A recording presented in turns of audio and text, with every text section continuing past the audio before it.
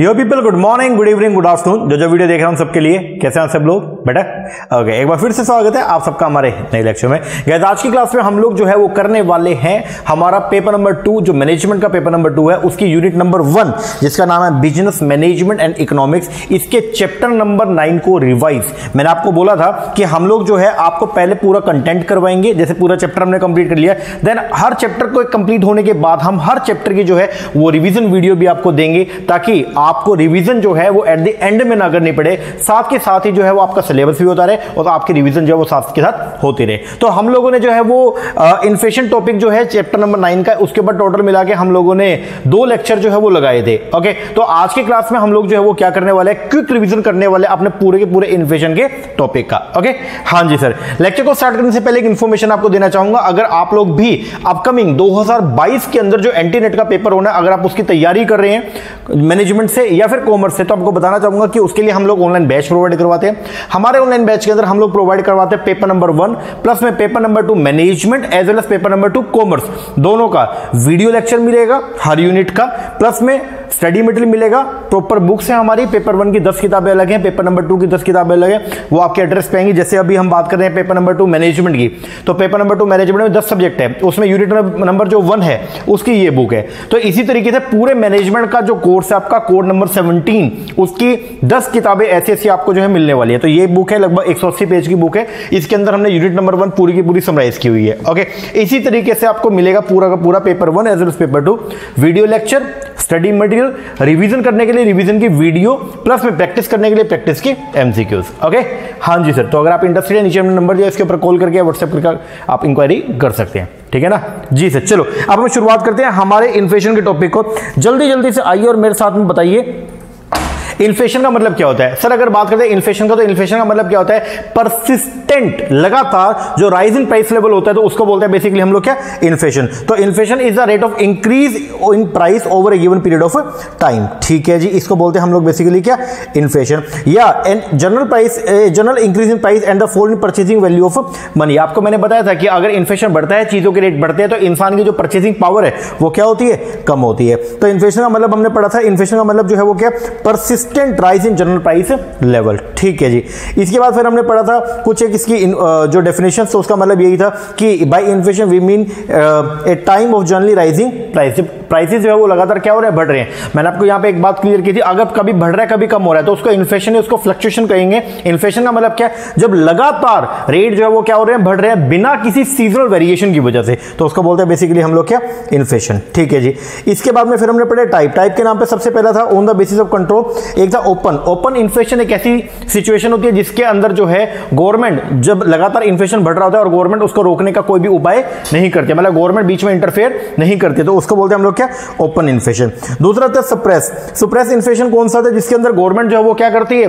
बढ़ते इन्फ्लेशन को रोकने के लिए जो है वो क्या करती है? कुछ इंटरवेन करती है। बोले तो बीच में इंटरफेयर करने का काम करती है। ओके तो गवर्नमेंट क्या करेगी? आज की डेट में कंट्रोल जो है वो क्या कर देगी? बढ़ा देगी। और बाद में जब रेट कम हो जाएँगे तो कंट्रोल को क्या कर देती है? हटा देती है। तो उसको बोलते हैं हम लोग क्या? सुप्रेस इन्फ्लेशन इसके बाद था on the basis political condition एक था वो टाइम झगड़े के कारण जो है वो क्या होता है? जब झगड़ा होता है, हमारे देश का, दूसरे देश के साथ झगड़ा हो गया तो मेजोरिटी जितना भी प्रोडक्शन होता है इकोनॉमी के अंदर, वो सारा का सारा गवर्नमेंट जो है वो क्या करती है? परचेस करती है. मतलब गवर्नमेंट अपनी परचेस को बढ़ा देती है, जिससे क्या होता है कि आम जनता के लिए जो है वो क्या होगा? आपकी जो सप्लाई है वो कम हो जाएगी, जिससे डिमांड ज़्यादा सप्लाई कम तो रेट क्या होते हैं? बढ़ते हैं. तो उसको बोलता है वोर टाइम इन्फ्लेशन एक होता है पोस्ट वोर टाइम जब जब वोर खत्म हो गया तो वोर खत्म होने के बाद गवर्नमेंट जो है अब क्या करने वाली है? कंट्री के अंदर कुछ डेवलपमेंट का काम करेगी, जिसके लिए गवर्नमेंट खर्चा करेगी। और गवर्नमेंट वहाँ पे कई बार जो है, वो डेफिसिट फाइनेंसिंग को यूज़ करती है, जिसके अंदर गवर्नमेंट खर्चा जो है, वो ज़्यादा करती है। अब आपको मैंने बताया था मल्टीप्लायर इफ़ेक्ट होता है, जिसके अंदर इकोनॉमी के अंदर एक बंदे का खर्चा दूसरे बंदे की क्या होती है? इनकम होती है। तो जब गवर्नमेंट खर्चा करेगी तो आम जनता की इनकम होगी। इनकम होगी तो परचेजिंग पावर बढ़ेगी परचेजिंग पावर बढ़ेगी डिमांड बढ़ेगी। अगर सप्लाई नहीं बढ़ रही है उस डिमांड की डिमांड तो बढ़ रही है बट सप्लाई कॉन्स्टेंट है तो फिर क्या होगा? प्राइस बढ़ेंगे। और एक होता है peace time peace time inflation के अंदर बेसिकली क्या, जो अंडर डेवलप नेशन होता है तो वहाँ पे आपको मैंने बताया था, वहाँ पे गवर्नमेंट डेफिसिट फाइनेंसिंग को यूज़ करती है, जहाँ पे गवर्नमेंट अपनी स्पेंडिंग ज़्यादा करती है, किससे? अपनी रिसीट से। जिससे होता क्या है, आम जनता के पास में जो है वो मनी का फ्लो बढ़ जाएगा और इन्फ्लेशन बढ़ जाता है। इसके बाद अगर बात करते हैं हम लोग classification on the base of rate of inflation एक होता है क्रिपिंग क्रिपिंग बोलते हैं लो इन्फ्लेशन जब आपका जो रेंज है इन्फ्लेशन की, वो किसके अंदर हो? सिंगल डिजिट में होती है तो उसको बोलते हैं क्या? क्रीपिंग तो हमारा दस सालों के अंदर जो इन्फ्लेशन है, वो मान लो एक परसेंट, दो परसेंट, तीन परसेंट जो है, वो बढ़ रहा है, उसको बोलते हैं जनरली क्या? क्रिपिंग एक होता है वॉकिंग इसके अंदर जो इन्फ्लेशन की जो रेट होती है, वो क्रिपिंग से थोड़ी सी क्या होती है? ज़्यादा होती है। तीस से चालीस परसेंट जो है, जब रेट आपका बढ़ने हो जाए दस सालों के अंदर तो उसको बोलते हैं वॉकिंग एक होता है रनिंग इसको बोलते हैं गैलोपी या इसी को बोलते हैं होपिंग जंपिंग या रन अवे इसके अंदर जो आपका इन्फ्लेशन की जो रेट है, वो एक साल के अंदर जो है, वो आपको देखने को मिलेगी 80 परसेंट से 100 परसेंट तक। मतलब डबल डिजिट में या ट्रिपल डिजिट के अंदर जो है, वो आपको देखने को मिलती है इसकी रेंज तो उसको बोलते हैं आप लोग क्या रनिंग या गैलोपिंग और एक होता है कौन सा? हाइपर हाइपर इन्फ्लेशन कौन सा होता है? इसको बोलते हैं लार्ज या एसिलेटिंग जिसके अंदर जो है, वो क्या? एक साल के अंदर अगर मान लीजिए मिलियंस में या ट्रिलियंस के अंदर रेट जो है, वो क्या उनमें फ्लक्चुएशन आपको देखने को मिले तो उसको बोलते हैं आप लोग क्या? हाइपर इन्फ्लेशन इसके बाद ऑन द बेसिस स्कोप एक तो सेक्टर जब अगर किसी एक पर, एक पर्टिकुलर सेक्टर के अंदर ही आपको महँगाई देखने को मिल रही है उसको बोलते हैं सेक्टर या स्पोरेडिक इन्फ्लेशन और अगर पूरे कंट्री वाइड अगर मान लीजिए चीज़ों के रेट जो है लगातार बढ़ रहे हैं तो उसको बोलते हैं हम लोग क्या? कॉम्प्रीहेंसिव ठीक है जी। फिर था अकॉर्डिंग टू द प्रोसेस सब एक है वेज इंड्यूस वेज इंड्यूस का मतलब अगर मान लीजिए जो ट्रेड यूनियन वाले जो है अगर वो वेजिस को क्या कर ले? बढ़वा लें। अगर जो यूनियन वाले लोग थे उन्होंने वेजिस को क्या कर लिया? बढ़ा लिया। तो उससे कॉस्ट ऑफ़ प्रोडक्शन क्या हो जाएगा? बढ़ जाएगा जिसकी वजह से रेट जो है वो क्या होंगे? बढ़ेंगे। तो अगर मान लीजिए प्राइसेस बढ़ रहे हैं due to increase in wages तो उसको बोलते हैं वेज इंड्यूस इन्फ्लेशन फिर था प्रॉफिट इंड्यूस मार्कअप बड़ी बड़ी कंपनी जो है वो क्या करती है? अपने कोर्स के अंदर 30 परसेंट, चालीस परसेंट, पचास परसेंट जो है वो प्रॉफिट मार्कअप को ऐड करती है और फिर प्राइस को कोट करते हैं। तो जितना ये मार्कअप जो है वो क्या रहेगा? ज़्यादा रहेगा, उतना इन्फ्लेशन ज़्यादा रहेगा, क्योंकि कीमतें भी उतनी क्या रहेंगी? ज़्यादा रहेंगी। फिर डेफिसिट इंड्यूस इन्फ्लेशन इसके अंदर गवर्नमेंट क्या करती है? अपने मनी सप्लाई को बढ़ाने के लिए खर्चा बढ़ा देती है, जिससे क्या होगा? आम जनता के पास में पैसा आएगा, जिससे होगा क्या? वो डिमांड ज़्यादा करेंगे और जो है रेट ज़्यादा होंगे और इन्फ्लेशन ज़्यादा बढ़ेगा। एक होता है स्टैगफ्लेशन स्टैगफ्लेशन एक बहुत ही खतरनाक सिचुएशन जिसके अंदर एक तरफ़ तो प्रोडक्शन लगातार डाउन जा रहा है अनएम्प्लॉयमेंट लगातार बढ़ते जा रही है, और एग्रीगेट डिमांड भी लगातार क्या कम हो रही है, लेकिन उसके बशर्ते जो है वो क्या, दूसरी तरफ़ जो प्राइस लेवल जो है वो लगातार क्या हो रहा है, बढ़ रहा है। तो ऐसी सिचुएशन को बोलते हैं हम लोग क्या? स्टैगफ्लेशन ठीक है जी। इसके अलावा फेयर मेजरिंग से पहले मैंने कुछ अलग से पॉइंट आपको और करवाए थे, जिसके अंदर हमने पढ़ा था एक था demand pull demand pull inflation क्या होता है? बेसिकली जब एक मिसमैच आ जाता है किसमें? डिमांड और सप्लाई के अंदर। जैसे अगर मान लीजिए सप्लाई तो कॉन्स्टेंट है, लेकिन डिमांड बढ़नी शुरू हो जाए।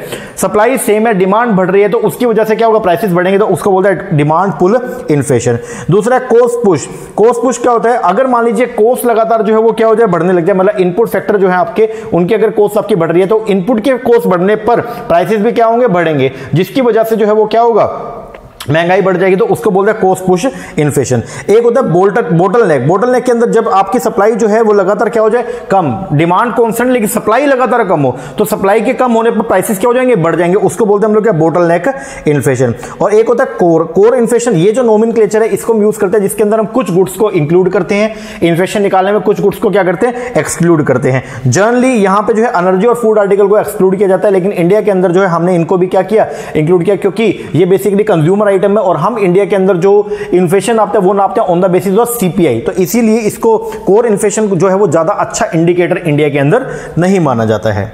इसके अंदर इन्फ्लेशनरी गैप हमने पढ़ा था। जब जब क्या होता है जी आपका, जब टोटल गवर्नमेंट स्पेंडिंग जो है वो ज़्यादा हो, किससे? इनकम से। मतलब जब गवर्नमेंट जो है वो अपनी स्पेंडिंग ज़्यादा कर रही है और गवर्नमेंट की इनकम जो है वो क्या है, कम है तो उसको बोलते हैं आप लोग क्या? इन्फ्लेशनरी गैप डिफ्लेशनरी गैप के अंदर क्या होता है? उल्टा होता है, जब गवर्नमेंट की स्पेंडिंग जो है वो तो कम है और गवर्नमेंट की इनकम जो है वो क्या है, ज़्यादा है तो उसको बोलते हैं, उसकी वजह से जो गैप राइस हो जाएगा, उसको बोलेंगे डिफ्लेशनरी गैप फिलिप कर्व जो है वो ये क्या होता है? फिलिप कर्व जो है वो आपका ट्रेड ऑफ़ बताता है between the inflation and unemployment ये बोलता है, अगर इन्फ्लेशन बढ़ेगा तो अनएम्प्लॉयमेंट जो है वो क्या होगी? कम होगी और इन्फ्लेशन के कम होने पर अनएम्प्लॉयमेंट जो है वो क्या होगी? बढ़ेगी। तो फिलिप कर्व के थ्रू जो है, एक रिलेशन मेंटेन किया जाता है बिटवीन द किस किसमें? Between the inflation and the unemployment और एक टॉपिक हमने पढ़ा था किस, कौन सा? रिफ्लेशन का। रिफ्लेशन के अंदर क्या होता है? बेसिकली कई बार गवर्नमेंट जो है वो क्या करती है? Higher level of economic growth पे पहुँचने के लिए ग्रोथ ज़्यादा करना चाहते हैं, जिसके लिए गवर्नमेंट स्पेंडिंग ज़्यादा करती है। स्पेंडिंग करने पर जो है वो इन्फ्लेशन कंट्री के अंदर बढ़ेगा, क्योंकि चीज़ों के रेट जो है वो क्या होते हैं? बढ़ जाते हैं, क्योंकि डिमांड बढ़ती है। तो उसको बोलते हैं हम लोग क्या? रिफ्लेशन ये टॉपिक था। इसके बाद फिर हम लोगों ने जो है लास्ट क्लास में पढ़ा था मेज़रमेंट किस तरीके से हम लोग इन्फ्लेशन को जो है वो क्या करेंगे? मेजर करेंगे। तो इन्फ्लेशन को मेजर करने का मैंने तीन तरीके आपको बताए थे। एक था सीपीआई एक है डब्ल्यूपीआई और एक कौन सा? जीडीपी डिफ्लेटर ओके अब पहले दोनों के अंदर डिफरेंस देखते हैं। सीपीआई में और डब्ल्यूपीआई में क्या डिफरेंस था? तो वो हमने कवर किया था। आइए देखते हैं। सबसे पहले डब्ल्यूपीआई डब्ल्यूपीआई की बात करें इसका फुल फॉर्म जो है वो, वो है होलसेल प्राइस इंडेक्स और सीपीआई का कंज्यूमर प्राइस इंडेक्स मतलब डब्ल्यूपीआई के अंदर हम जो इन्फ्लेशन चेक करते हैं वो करते हैं on the basis of bulk quantity जबकि सीपीआई के अंदर देखते हैं on the basis of sale of goods और सर्विस इन रिटेल डब्ल्यूपीआई का डेटा कौन पब्लिश करता है? Office of economic advisor ministry of commerce industry और जो सीपीआई का डेटा वो पब्लिश करता है मोस्पी मोस्टली बोलते ministry of static and program implementation WPI जो आपका डब्ल्यूपीआई है, उसको मेजर करते हैं ऑन द बेस वो गुड्स के बेस पे मेजर किया जाता है, जबकि सीपीआई जो है, वो गुड्स और सर्विस दोनों के बेस पर मेजर करते हैं। मेज़रमेंट ऑफ़ इन्फ्लेशन जो डब्ल्यूपीआई वो पहली स्टेज है और जो आपके सीपीआई है, वो क्या है जी, आपका फाइनल स्टेज है।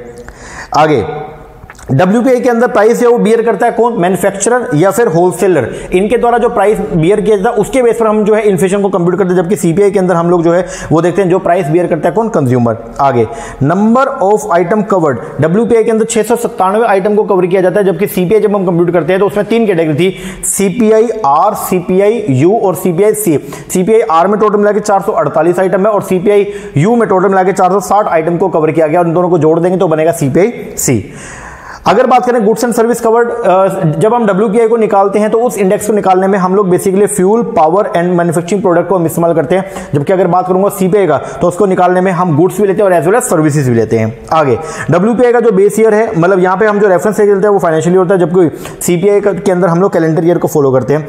जनरली हर जगह जो देखा जाता है, वो कौन सा देखा जाता है? जी आपका कौन सा? सीपीआई और जो डब्ल्यू है, वो आपको मेजर कंट्रीज़ के अंदर देखने को नहीं मिलेगा। दूसरा डेट ऑफ़ रिलीज़ डब्ल्यू जो है वो वीकली बेसिस पे रिलीज़ किया जाता है उसका डेटा और जो सीपीआई का डेटा है वो आपका मंथली बेसिस पे रिलीज़ किया जाता है।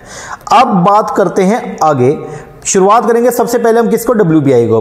डब्ल्यू की शुरुआत जो है वो आज़ादी से पहले जो है वो की गई थी इंडिया के अंदर, मैंने आपको बताया था। तो हम लोगों ने जो है 1942 के अंदर जो है पहली बार डब्ल्यू को निकाला, जिसके अंदर हमने जो बेस ईयर लिया था, वो 1939 लिया था। टोटल मिला के सात बार जो है वो इसको हमने क्या किया? रिवाइज किया। जब हमने शुरुआत किया था, ठीक है तो उसके अंदर आपका बेस ईयर क्या था? 1939 को बेस लेके चले थे। उसके बाद इसको बेस ईयर को हमने चेंज किया, और आज की डेट में 2017 के अंदर इसमें अमेंडमेंट हुआ। सात बार टोटल अमेंडमेंट हो चुका है। 2017 में जो अमेंडमेंट हुआ उसके अंदर हम लोगों ने बेस ईयर माना सन 2011 बारह को, पहला। और इसके अंदर जो हम इन्फ्लेशन जो हम चेक करते हैं, वो करते हैं on the basis of six ninety seven commodity छह सौ सत्तानवे कॉमोडिटी के ओपनिंग प्राइस छह सौ सत्तानवे कॉमोडिटी के क्लोजिंग प्राइस के बेस पर हम लोग जो है वो क्या करते हैं? कंप्यूटेशन करते हैं। ठीक है रिवाइज जो आपका डब्ल्यू आई था तो उसके कुछ फीचर जो है वो क्या क्या थे? आइए देख लेते हैं सबसे पहला। इसके अंदर तीन मेजर कैटेगरी बनी हुई है primary article fuel and power और तीसरा कौन सा? मैन्युफैक्चर प्रोडक्ट इनके अंदर आने वाले जो आइटम है, वो टोटल कितनी है? सत्तानवे आइटम है। इसमें पहले कितनी छह सौ छिहत्तर थी, इसके अंदर एक सौ निन्यानवे नई आइटम को जोड़ा गया और एक सौ चालीस को हटाया गया। तो आज की डेट में जो ये टोटल जो है वो कितना? सिक्स नाइनटी सेवन ओके इसके अंदर जो नंबर ऑफ़ कोटेशन है, उसको भी बावन परसेंट से क्या कर दिया? बढ़ा दिया। ओके जब आप डब्ल्यू को निकालते हैं तो उसके अंदर इनडायरेक्ट टैक्सेस को प्राइसेस के अंदर जो है वो क्या करते हैं? हटा देते हैं। ओके इसके बाद में जो है, जो आइटम लेवल एग्रीगेट है तो यहाँ पे हम ज्योमेट्रिक मीन के बेस पर डेटा को क्या करते हैं? कंपाइल करते हैं। ठीक है. डब्ल्यू की अगर बात करें तो उसके लिए एक निकला है डब्ल्यू इसको बोलते हैं होलसेल फ़ूड प्राइस इंडेक्स ये जो है बेसिकली इसके अंदर दो आइटम हम एक्स्ट्रा और निकालते हैं। एक है फ़ूड आर्टिकल और एक है फ़ूड प्रोडक्ट तो उनके रेट में कितना इंक्रीमेंट हो डिक्रीमेंट हुआ, उसको भी अलग से क्या करते हैं? कंप्यूट करते हैं। क्योंकि डब्ल्यू क्योंकि इकोनॉमी जो है वो डायनेमिक नेचर की उसमें लगातार चेंज हो रहा है तो हम लोग जो है वो क्या किया? उस, उसके हिसाब से ही अपने सिस्टम को अडोप्ट करने के लिए हमने टीआरसी लेके आए। टीआरसी का मतलब है टेक्निकल रिव्यू कमेटी जो क्या करेगी? एक नए सिस्टम को जो है वो क्या करेगी? अडोप्ट करेगी। ठीक है? टाइम टू टाइम के हिसाब से। इसके बाद में फिर आगे अगर हम बात करते हैं तो सीपीआई सीपीआई जो है, इसके अंदर बेसिकली क्या था? अगर हम बात करें 2000 सीपीआई पहले चार लेवल के ऊपर निकालते थे, लेकिन 2011-12 के अंदर जो है, इसको हमने जो है वो क्या किया चेंज किया। तो सीपीआई आर सीपीआई यू और सीपीआई सी जो है वो तीन लेवल पे जो है वो सीपीआई कंज्यूमर प्राइस इंडेक्स जो है वो हम क्या करते हैं कंप्यूट करते हैं।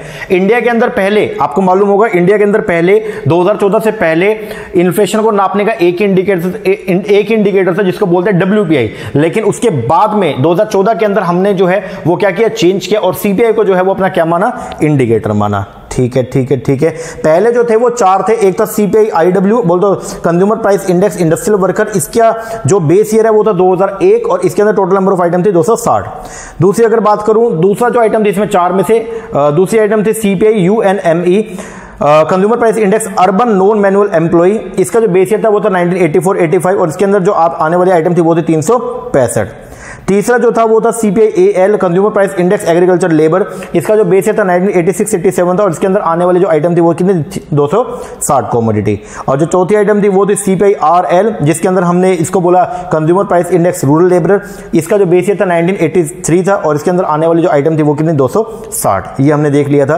बाद में दो हज़ार ग्यारह बारह के अंदर जो इसको रिवाइज किया गया और अब हमने तीन कैटेगरी बनाई। एक बनाई सीपीआई आर रूरल एरिया एक है सीपीआई यू अर्बन एरिया और एक बनाया हमने सीपीआई सी कंबाइंड का ओके? अब इसके स्पेशल क्या थे? पहला बेस ईयर जो उसको चेंज किया गया, पहले इसका जो बेस ईयर था, सन 2010 था 100 आइटम 100 पॉइंट को लेकर के और इसको चेंज किया 2012 किया गया। बास्केट ऑफ़ आइटम में जो हम डेटा को कंपेल करेंगे, वो करेंगे एम के बेस पर, ये आपको मैंने बताया था। तीसरा, जो इसके अंदर पहले जो कैटेगरी बनी हुई थी, वो कितनी थी? गुड्स और गुड्स की और सर्विस की कैटेगरी टोटल मिला के जो है, इसके अंदर पाँच थी और बाद में इसको बढ़ा के कितना कर दिया? छह कर दिया। तो ये इसको पान टोबैको और ये इंटॉक्सिकेंट जो है, इनको यहाँ से क्या कर दिया? रिमूव कर दिया था।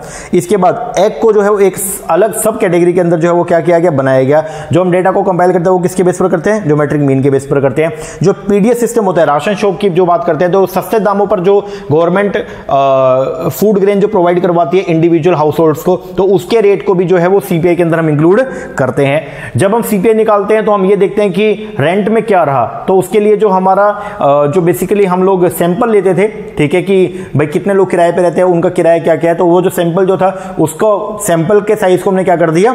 डबल कर दिया है जिसके अंदर। ठीक है। इसके बाद में है आपका ये तो फिर आपको डेटा दे रखा था, बस। ये तो सीपीआई का, ठीक है?